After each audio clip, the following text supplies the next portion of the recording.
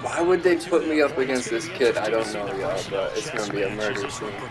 Yeah, that shit. Oh my god! Oh! Oh!